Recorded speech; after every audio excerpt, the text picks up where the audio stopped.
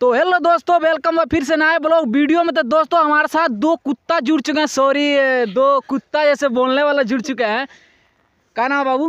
रवि किशन। रवि किशन जुड़ चुके हैं। एक इधर है क्या नाम है? उपेंद्र। उपेंद्र और रवि किशन दो कुत्ता है। सॉरी कुत्ता नहीं कुत्ता जैसे आवाज़ मतलब निकालते हैं। जैसे बच्चा कुत्ता का आवाज़ नहीं निकालता है। सेम टू सेम कुत्ता जैसे बोलते हैं दोनों। तो आप लोग हमारे ब्लॉग में बने रहिए और वीडियो को छोड़ के मत जाइएगा प्लीज़ और सुन के जाइएगा ठीक है? ये दोनों सेम टू सेम कुत्ता का बच्चा जैसे आवाज़ निकालता है ना छोटा बच्चा वैसे निकालेगा। तो मैं पहले रवि किशन बाबू से आवाज़ निकालने को बोलूँगा ठीक है? तो बने रहिएगा। निकाल बाबू।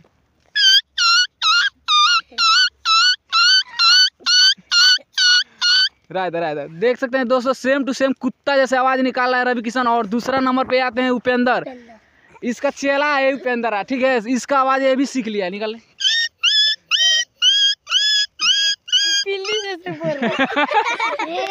दोस्तों ये पिल्ली जो होती है वो ऐसे आवाज़ निकाल रहा है और ये पिल्ला जैसे ठीक है? तो दोस्तों सेम टू सेम खुद